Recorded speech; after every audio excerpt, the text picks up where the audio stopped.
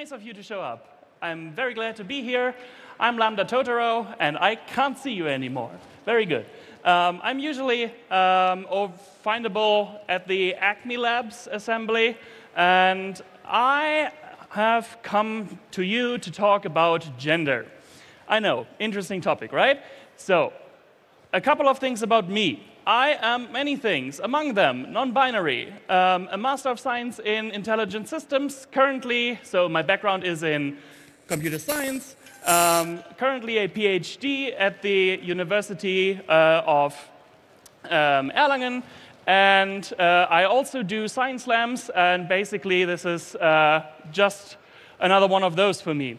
Um, and I've been uh, doing this uh, for roughly, well, I've been pondering this topic for roughly 10 years. That doesn't make me necessarily an expert, but at least it makes me enough of an expert so that I think I can stand up here and tell you some things. Okay. Um, what is this talk? This talk is about this exact thing. Um, we, this is um, a form that a good friend of mine who wanted to partake in a scientific study had to fill out. And it's in German, I'll translate. It's a question on a scientific survey that asks you for your gender, and it gives four options male, female, other, and no answer. And while that is not technically the worst thing you can do, it was the motivation uh, of, for asking myself of how can we do better in this type of situation. So this is a talk about our responsibilities as software craftspeople, um, what we can do to reflect these things um, and what responsibilities we have and how the tech itself, by itself, just by the virtue of being tech, is not neutral. Um, there's some content notes I want to hit on first. Um, this talk will uh, deal with descriptions of transmisia, so hatred against trans people, intermisia, and involuntary surgery. If that's not something you want to deal with, there will be a recording if you want to see this at a better time for you. Um, and otherwise, I want to follow roughly this, uh, this split. Uh, I want to do one part education, one part uh, form design advice, and one part fun, because even though it is the year 2019 and you really think that by now the basics would be down, you still sometimes get forms on the internet like these. Um, I must say at this point, none of these uh, screen grabs that I will show you are made up. Um, I have done exactly zero of them. They were all found somewhere on the internet. Um, okay, a few things this talk is not. Um, this talk is not an invitation to debate the human rights of people, um, especially trans people or people in a different culture. So, um, if you want to yell about attack helicopters, uh, and please there's your fish. Do your extremely unfunny jokes somewhere else. Um, all right. So, why are forms important? Why is it important that we deal with this at all? Um, well, if you do sloppy work, um, it hurts a lot of people. First of all, your data. If your input form for anything, but in this talk we'll use gender as an example, but if your input form uh, doesn't let people input the correct form or the correct answer to a given question, then that hurts your data because you will get incorrect data. It hurts your users, and I can tell you from first, second, and third hand experience that it is really, really, really frustrating if you're supposed to tell somebody something about yourself and the correct answer is not an option. And it also hurts yourself because some somewhere down the line, these people will complain to you or not use your service when they otherwise would have. So nobody likes this extra frustration. Let's see how we can do better. Um, that brings me to my conclusion slide, um, which I like to put in front. Um, the central points are as follows. Make the model fit the user. You are modeling your user, if you know it or not and it's important that you make your model fit the actual users in the world and don't chuck any model out there and say that the user has to conform to that. Um, the next one is humans are moving targets. Humans change, their names change, their gender sometimes changes. It's really, really, really difficult to just get everything right the first time. And so we change, and your model should reflect that. Um, of course, the easiest thing to do is just not ask a certain question, because with that you make the fewest mistakes. Um, but sometimes, if you do ask something, be at least very precise and um, upfront about what you're using the data for, just so people know which is the correct answer to give you. All right, now that we got the boring stuff out of the way, we can talk about the fun stuff. Uh, the talk is titled uh, Hello, I'm Your Edge Case. And that is based upon mine and other, some of my friends' experiences at university when, whenever we wanted to sign up for something like a sports club or a, a student union or something, whenever there was like a, a, little field that says, oh, well, please select your gender, male or female, then we would not be able to give the correct answer and we would have to go talk to an actual person. And the introduction usually went something along the lines of, hello, I'm the person that doesn't fit your system, or hello, I'm your edge case. Um, and the format this rest of the talk will take is that we will go through some of the um, maybe incorrect or maybe a bit uh, biased or maybe a bit, well, let's say updatable uh, functions or preconceptions you might have, and then talk a bit about the facts and about the problem and see what we can learn from that. The first one is uh, maybe the most popular one. Um, it's there's only two genders. Um, well, um, some people don't even manage that. And again, these are not made up. Um, some people apparently still believe that, well, there's just one and it's male, so you're all the same. I mean, while I uh, appreciate generally that the, the, the, the the impetus into the direction of everyone is everyone being equal, um, I don't appreciate just everybody called, being called male instead. But no, seriously, um, there's, a, there's a lot of non binary people that are neither male nor female. Um, non binary people have been part of almost every culture for almost as long as we have records going back. This is not a new phenomenon, this is not just a trend. And it's gotten so far to the point that even some countries, you can see here, have started um, adding legal recognition to non binary genders as well, um, including Germany. Um, in some sense, we'll get to that a bit later on, but the list is there, it's not very short, and it's only ever getting longer. So maybe don't store gender in a Boolean anymore. I beg of you, please don't. Um, it is just not enough. It can only hold two things when there's clearly more than two things.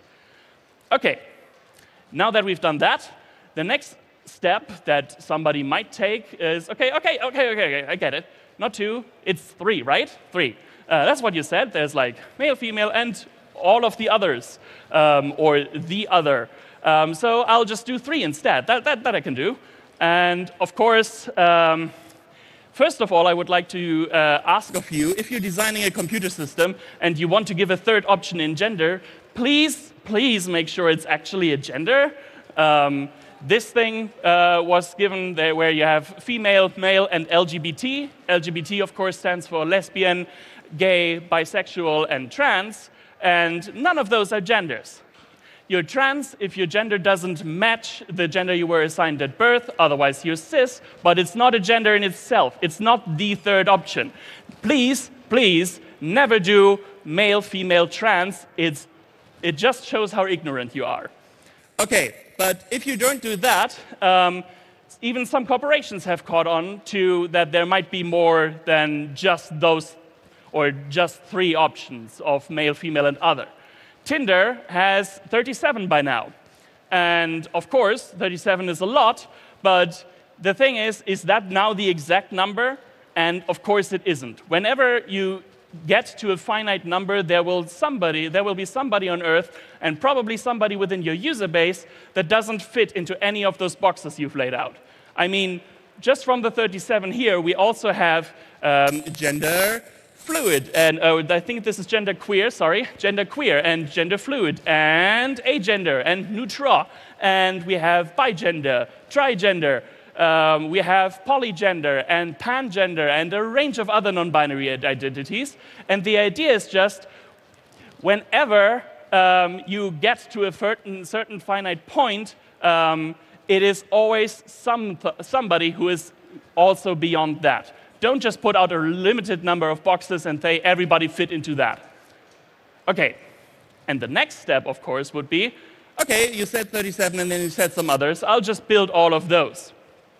And here's the interactive part of the talk. Um, I don't know if we can get the room lights a bit up. Um, if not, that's also not probably. Whoever here has heard of something called a demi-boy? That's a gender identity? Who has? Um, that's around half a dozen people that I can see. And there's at least 100 people here, so that's a perfect illustration of why you would need a text box, because you don't know all of the possible answers that you can give. And for that, this slide is, um, gives a you know, it's a reasonable approximation and it's also a little bit of a humorous take on something extremely serious. Humi, uh, humans still change humans are still a moving target. Even if you know about all the genders uh, that exist today, uh, you might want to add another one tomorrow because you get a new user um, that has that gender. And um, for that, it would be ideal if you can have um, a, a text box where people can just add their own gender. It's not a statistical outlier if enough people do it. It's, of course, a, bit, a little bit of a funny take, but it's also um, an invitation. If you, if you are non binary yourself and you feel safe in a certain space, please, if somebody gives you a text field, do enter your true gender. Because if, if more people do it, it will create more visibility. All right. So from that, we've seen that maybe don't store gender in an enum either. Okay, next up. Um, this is uh, also a bit of a contentious subject but a lot of people come to me and say, Well, I learned in school that there's only two biological sexes, right? Well, you might have learned that in school, I won't dispute that, but uh, I can tell you from my side of things that I once learned in school that there's no gravity in space. Um, while that is obviously wrong, um, even though it's a simplification, something that my younger self um, was or needed to be told so I could understand or have my understanding move forward a bit so I can then later understand the more complexities that, of course, there's gravity in space, but it behaves differently than the one you know. And it in same things goes with biological configurations and as that relates to gender. Um, there's something called intersex people, and that is if you are born with any configuration of your biology that might be your gonads, that might be your um, that might be your chromosomes, that might be a lot of things, your hormone levels, a bunch. And any of these can fluctuate so that you don't fit into the two classical categories. And if you, you are, if you are born such, uh, then you might find yourself into the label intersex. And intersex people don't necessarily be or don't necessarily become non-binary automatically. Um, they are not non binary automatically, but some of them might claim that label. It's up to them, of course. Um, gender is something you know best what you are, so please just let people talk for themselves. Um, while I'm on the topic, um, also there's a very serious thing that I want to mention um, where um, a lot of intersex people, when they were born, and people notice that um, maybe their genitals don't conform to one of the two classical categories, then people are still being um, subjected to unnecessary surgeries. Like, there's no medical need for them, but just to make it easier for the person, um, a functioning set of testes is removed or the clitoris is reduced. Um, and that is still happening today in Germany too, and in the US and uh, in a lot of other places. And if you're maybe social justice adjacent and uh, looking for a good cause to spend some time in, maybe read up on this and uh, learn about that and see how you can affect that. It's definitely something extremely troubling to me. Okay, so biology uh, may be bimodal, that is a distribution that may has two peaks with the most common uh, with the most common outcomes, but it's definitely not binary either. Okay. Um, also, you probably don't need to know, unless you're a doctor uh, and uh, making some uh, input form for very specific uh, medical procedures, then you probably don't need to know. If you're just a social media site or something, you do not need to know your user's biology.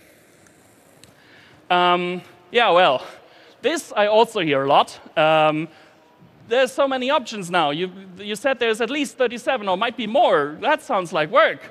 And sure, but um, I don't buy that. Um, there's um, a, here's a form from the German military interest uh, union or something, and they give you two options for gender, and they give you 71 options for academic title. I could read them all to you, but I literally do not have enough time left in the talk. Um, and with that, I just don't believe you that it's too much work if you do something like this. Um, so if you don't want to deal with the whole thing, please, please be advised that not asking is always an option. You can always just not ask about it. Um, the information is either needed or not, act accordingly. If it's needed, get the right one. If it's not needed, maybe just don't ask. Um, some people also say, oh, well, I'll just ask for preferred salutation and infer gender from that. Yeah.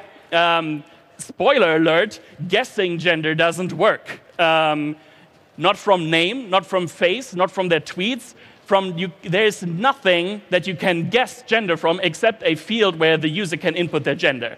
And so you will get this wrong. Even if there's some online services who tell you that they can, they only give you a best guess. And that's usually not enough. If you want to do salutations, sure, more power to you, but at least include like a neutral option. Um, this is one from Lobby Control. I like that a very lot. Uh, uh, they have two options, and they have a third one that just says hello in German. Um, and the English language also has a Mx for not Mr., not Mrs., not Miss, but Mx that's gender neutral. It's in the dictionary.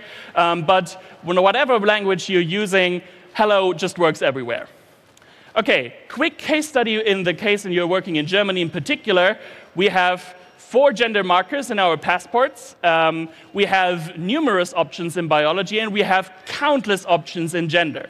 And I wanted to see okay, political parties, how do they do this? Um, who of them shapes up the best? And, well, to nobody's surprise, the Social Democrats do it the worst. Um, they just ask for binary gender. Nothing to do about it. And since Germany has a third entry, um, I'm pretty sure that's illegal or at least legally questionable by now. So, hmm.